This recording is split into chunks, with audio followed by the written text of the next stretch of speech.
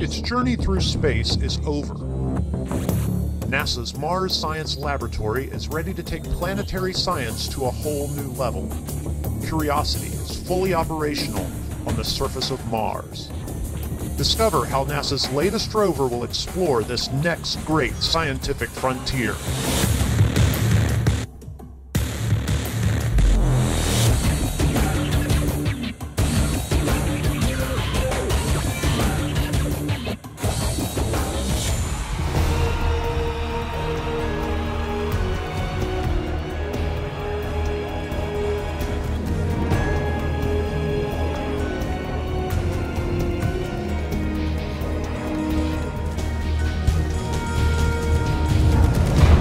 Welcome NASA Edge. An inside and outside look? At all things NASA. We are live in the Piazza in Media City, UK, in Salford.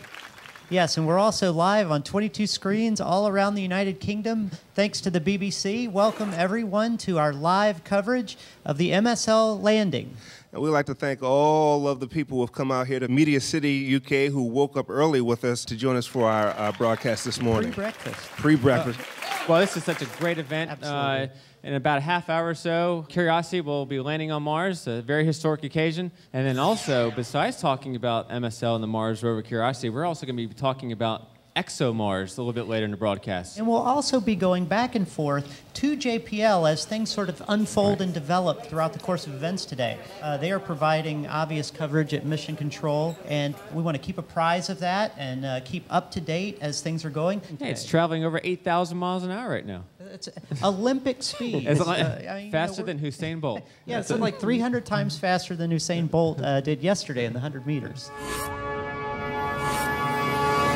I, I'm sorry, I'm a bit distracted because you're holding uh, a piece of Mars. Uh, tell us about this piece of Mars. It's a bit of a meteorite that's come from Mars. So we already have Mars rocks. These come to Earth when an asteroid hits the surface of Mars and breaks bits off, and they just fall completely at random on Earth. We know they're from Mars. That, you know, that was my next that was question. next She could see it forming in my head. Yes. I know it's from Mars because it's got gas trapped in it. And when you heat up the rock, you get the gas out. And the gas has got the same composition as Mars's atmosphere. So it's got carbon dioxide So and, and, and argon and, and other things which are exactly the same as Mars's atmosphere. It was a real detective story. I was going to say, it sounds like a detective situation where it's almost like you're looking for Mars fingerprints uh, on, and that's found by gases, huh? Yep, that's absolutely right. I mean, uh, if we look at, at the Earth and we think about the Earth and what's in its atmosphere, we know it's about four fifths nitrogen and about one fifth oxygen, and that's how we can live here. And the pressure of the atmosphere is a thousand millibars. We, we know that one from the weather forecast and stuff like that. But on Mars, it's very different. It's only six millibars, so six thousandths of the pressure of Earth's atmosphere. And it's practically all carbon dioxide. So nobody could stand on the surface of Mars and live there. A human couldn't. Now, that's got to be rare, right? You're Sure. holding a, a very rare artifact. I- I'm nervous being in this proximity to something so valuable. Oh, you're talking about me or the rock? Both? I'm here with uh, Hugh Perryman from Manchester. Uh, what's your question, Hugh? Um, what is the significance of the Gale crater where, where it's landing? Well, of course, the selection of the landing site was critical, and they came up with a number of great uh, potential candidates, and Gale Crater won out. Gale Crater is uh, just south of the Martian equator, and it's, it's a very low altitude crater. It has some very interesting properties. Well, being low altitude, you know, water runs downhill, so perhaps there's a chance that water once stood in Gale Crater. We believe there are clays on the uh, base of the crater, and there's a large mountain that looks like it's made of uh, different sediments right in the middle of the crater. It's a fascinating place uh, to explore. We have a question here from Twitter. Why isn't MSL using airbags like other missions? It's difficult to go to Mars, and we've had a few failures. And it was thought that uh, using airbags to cover the rovers that we send to Mars and kind of let them bounce until they settle on the surface of Mars was a pretty low risk, pretty good idea, pretty good way to send rovers to Mars. But Curiosity is just too big. This thing weighs a metric ton, and it's too big to put bags around. So they've adopted this very intricate method of landing with many multiple steps that occur automatically and must occur in proper order and proper sequence for it to make it to the ground. We're going to go back to the actual animation of MSL as it enters the Martian atmosphere. And this theoretically happened minutes ago on Mars in the at- Martian atmosphere. So Let's see what happens Ethan, with that 14 minute delay. Are we really here or is it 14 minutes past? Yeah, I the don't- future. Don't get me on time travel because I'll get wrapped around the axle and it'll be bad news for everybody. No, you don't want to do that. And we have the guidance navigation control. It's steering the spacecraft, entering the Martian atmosphere. And interestingly enough, MEDLI is actually getting important engineering data from the entry. Yeah, this is the first time we're actually going to be getting important scientific data inside the heat shield, and we're going to be studying about the Mars atmosphere. And those measurements are being taken through MEDLI until the uh, heat shield is discarded. Anytime now. And then with the parachute, and it slows it down to below sub supersonic speed. That's the largest parachute ever to be used on a planetary surface. and weighs just about uh, 100 pounds. Yeah. And then once we collect all that data from the MEDLI instrument, which stands for Mars Science Laboratory, MSL, Entry, Descent, and Landing Instrumentation Unit. That data is going to be transferred to the rover, and then the heat shield jettisons. Yep. And then, of of course, a very dramatic, probably one of the most complex things designed for this mission is the Sky Crane, which we've never done anything like this ever. Actually, deploying a rover from a hovering Sky Crane.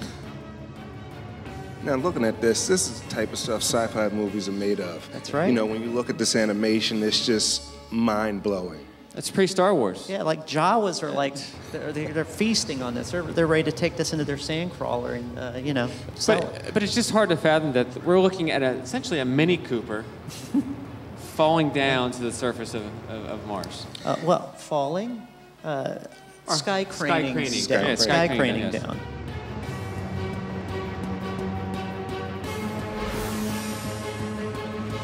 Touchdown confirmed. We're safe on Mars. Touchdown. All right.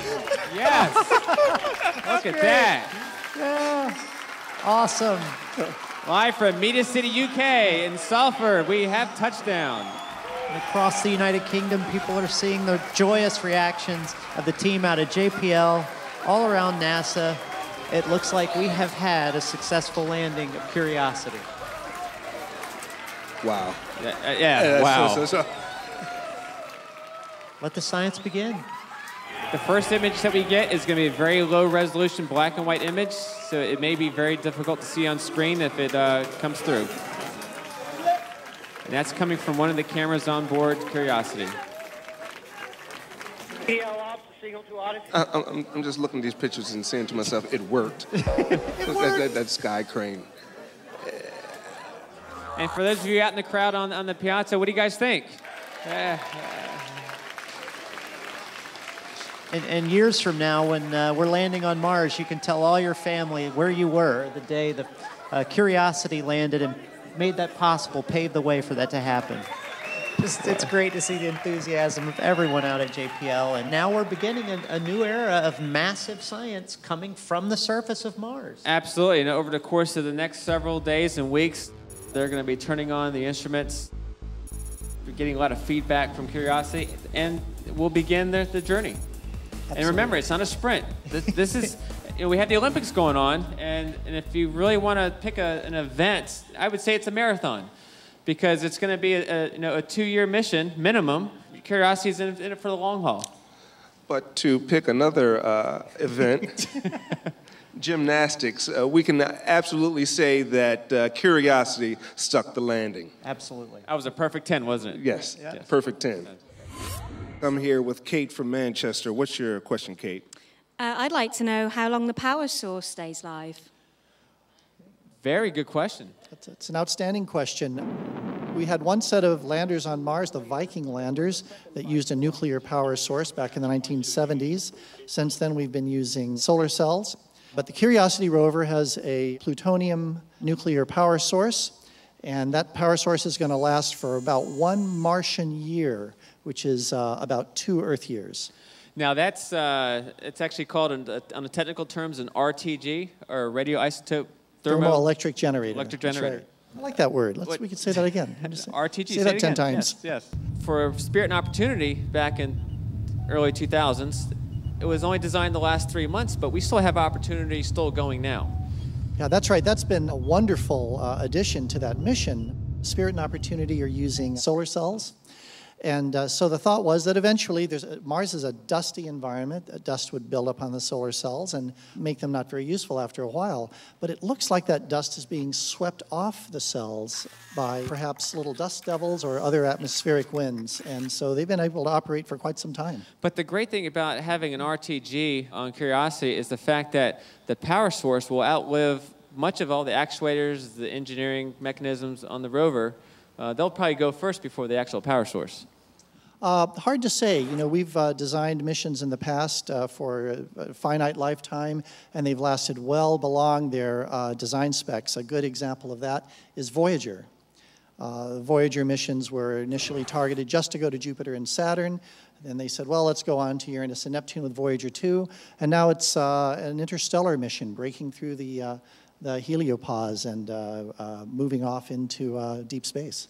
Quick question What is the temperature on the dark side of Mars? Well, you know, Mars, like the Earth, has an atmosphere. It's a thin atmosphere, but it has an atmosphere to spread heat, and it rotates just like the Earth does. In fact, its day isn't that much longer than an Earth day. So, nighttime temperatures can get down to minus 100 centigrade, minus 120 centigrade, something like that. It's awfully, awfully cold. It's an interesting planet because it's so much like Earth in so many ways, and it's so different from Earth in so many ways. That ways. was one of the questions we had. We said, How is Mars like Earth? There you go. Okay, well, well, um, let's see. Mars is a terrestrial planet. It's got a hard surface, uh, like Mercury, Venus, uh, Mercury, Venus, Earth, and Mars, the terrestrial planets. They all have hard surfaces. They're relatively small. They're relatively dense, something on the order of five grams per cubic centimeter, all about the same density. They all have atmospheres. Mercury, not so much, but a little bit. And uh, they're all relatively near the sun. Mars is about half the size of Earth. It has evidence of volcanism, has the tallest mountain in the world, Olympus Mons, an extinct volcano in the Tharsis region. It has polar caps, like the Earth does, but unlike Earth, its polar caps are both water ice and carbon dioxide ice. It has evidence of water flows and probably oceans, maybe in the northern hemisphere, a long time ago in its early formation. Mars once had a magnetic field like the Earth does, but it looks like it lost that field, and that opened its atmosphere up to erosion from the solar wind, and that and other processes, uh, collisions from space and so on, resulted in a much thinner atmosphere and a much colder surface. So those are some of the ways that uh, Mars is like the Earth and different from the Earth. Will Curiosity be analyzing rocks and soil? Oh, absolutely. I mean, that's one of its primary uh, functions on Mars. It is a geology laboratory, uh, sitting there doing all of this analysis, uh, a lot of it uh, automatically. It's going to be able to come up close to a rock, just like the uh, MER rovers, and analyze the rock that way. It can look at rocks from far back. It can scoop up soil and put it in analysis containers for spectroscopy to tell what minerals are in the soil. Is there water? Are there water bearing compounds? Is there organic life in the soil that might link to possibilities for life? That kind of thing. This particular rover is not detecting life, it's detecting the habitability that maybe once life existed or still exists. That's exactly right. Could life have lived in an environment like Mars in the past? Uh, are there habitable areas currently, maybe under the surface? Could we find water? In other words, evidence of habitability. That's what it's really looking for. Because ultimately, the, I think the big question, you know, for our viewing audience, even here in, in the Piazza, is: Is there life on Mars? I think everyone wants to know that question, and hopefully one day we'll be able to answer that. Uh, that's right, and uh, maybe ExoMars uh, will help us as well as future missions. Let's talk about ExoMars. Now, that's the mission you guys are working for to, uh, to go to Mars. Tell me, what is ExoMars? ExoMars is a, a mission that's uh, formed from two parts. Firstly, there'll be an orbiter that's due to go up in 2016, um, and that will also be used as a data relay for the rover, which will be launched in 2018. Is, is that similar to Odyssey, how Odyssey helped us complete communications? That's absolutely right. And, and then, so that'll deploy, and then ExoMars has a rover as well. That's right. The 2016 mission first, though, needs to demonstrate the uh, entry, descent, and landing system. Um, it's a practice, if you like, for the, the rover itself. And then once we've got all the data back from instruments on there, we'll be able to verify the, the final performance of the rover descent and then hopefully we'll get all the data back from the instruments on that rover as well. well I'm, I'm very curious, what does EXO stand for? So I think the reason they've called it ExoMars is because this rover is an astrobiological mission. So what Curiosity will be able to tell us is how habitable Mars has been in the past, whether it's ever appropriate for life. And the next step after that, which is what the European Space Agency, the ESA mission, ExoMars will be able to do, is tell us if there are actually signs of life on the surface of Mars. So this field of science is called astrobiology or exobiology. So it's the ExoMars mission. So when you're watching the good news of Curiosity come back, you're happy not just for the success, but you're actually going to be able to use that data to exactly. help your future mission. No, exactly. We're, both very, very excited about this mission and, and the, the, science it's going to send back. So we, have seen what the engineers have been able to pull off with that incredible entry and descent landing, the EDL, and now it's you know kind of handing the baton onto the scientists to start doing these experiments and using all these incredible instruments to find out as much as we can about Mars. Obviously, uh, we've talked about MSL and Curiosity going to Gale Crater. Um, and obviously, they'll be sending that data back based on that region. Will you look for a similar region, or will you deliberately look for a different region of, of study? We'll, we'll be looking for a, a similar region. So, the reason we went to Gale Crater with Curiosity it's because as far as we could tell from orbit, it, it, was a wet place. In ancient primordial Mars, we think there was a lot of liquid water laying down all these minerals and, in fact, clays. There seems to be a lot of clays right in the base of this great big mountain in the middle of, um, of, this, of this crater, of Gale Crater. And on Earth, clays are only laid down in standing water, and life needs water. So it's, it's a signature for a habitable environment that might be there on primordial Mars. And with ExoMars, we want to go to a very similar environment. We want to find places where it seems to be in a, an aqueous, warm, wet environment, and then see if anything ever did get started there. Wow. Are there a lot of candidates like that? Uh, have you identified them? Where are you guys in the process for uh, picking a landing site? Well, I think we'll, we'll probably use some of the um, shortlist that was drawn up for curiosity. So we've now mapped um, to very, very small scales a great deal of the surface of Mars. We know what its geography is like, we've identified some of the most promising candidate sites. And Curiosity has gone to one of these most promising. And depending on what it finds, we, I mean, we might go to, to Gale Crater as well with, with ExoMars, or we might go somewhere else. We might do a follow-up mission and kind of land alongside it, perhaps. And can you imagine a tag team mission in High Gale five Crater? on the surface yeah, of that would two be, rovers. That'd be fantastic.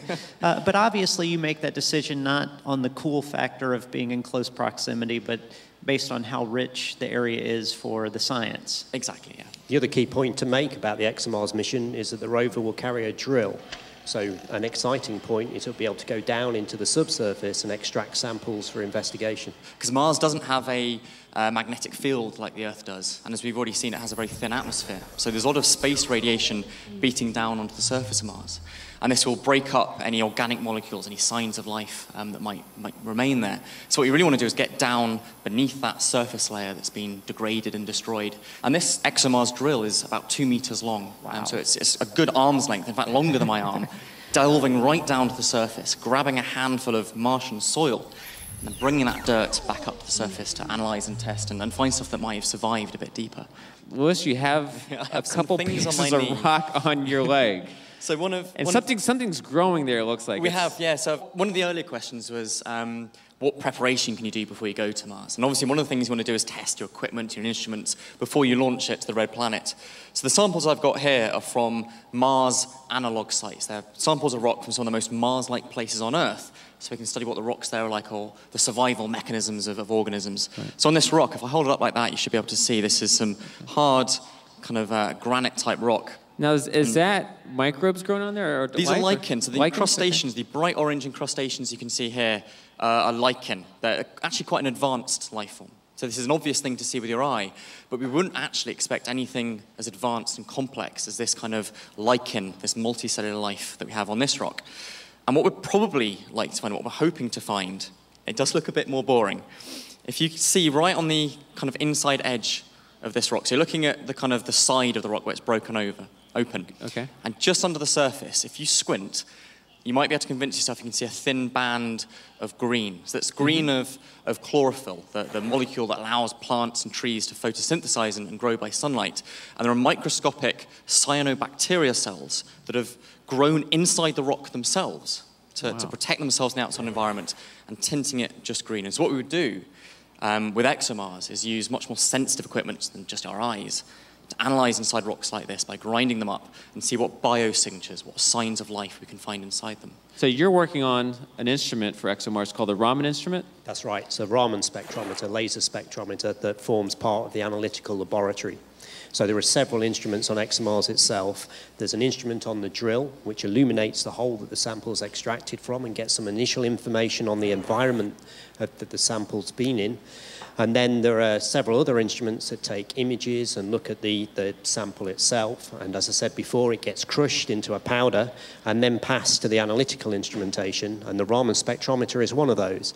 It incorporates a laser. You shine the laser onto the sample, and then the light that comes back gives you information on the molecular composition. So you can determine what the sample is made from and hopefully detect any biosignatures or signatures that indicate the presence of past or present life. From my understand, this rover will be about the size of uh, Spirit and Opportunity. That's right, yeah. Okay, and it's using solar power. Yeah. You can imagine all the technical challenges here, getting the drill in place to extract the sample, then to crush it without anything getting jammed, and then to pass it around all the individual instruments and get results from each one of those. Well, that's a good point. You know, coming back, looking at the drill, because you want to you want to be able to take a core sample. I mean, the ground has to be soft enough. You don't want to land on a surface where it's going to be so hard, where it's going to be so hard to drill one to two meters deep. And you take that into consideration when you're looking at the landing site. Yeah, absolutely. Selection of the landing Right. site, and the rover also inc- incorporates a radar, an instrument called Wisdom, and they collect, use all the different data from the instruments to determine an appropriate place to look for samples. I just, I just think it'd be kind of cool if you actually had some of you had some of his uh, rovers actually meeting up one day. You know, just, just- just see Well, how one of things the are going. plans So- for ExoMars was to, to land it as a twin mission, to have two rovers landing the same site and, and doing tag team science, having different instruments on board to build up the story together and kind of co- uh, co- collaborate. You can imagine think- the engineer's response to that kind of suggestion. That's a good point. They will collide in midair on It, the way down. it goes back to the science and engineers, scientists and engineers working hand in hand. Yeah. And we want to thank everyone who came out here today to uh, help us celebrate the arrival of Curiosity on Mars. Thank you to, to the mayor, uh, to the city of Salford, Media City UK, the BBC, everyone who made this uh, webcast possible. You are watching NASA Edge. An inside and outside look. At all things curiosity. Oh, even Have a great day. end there. That's nice.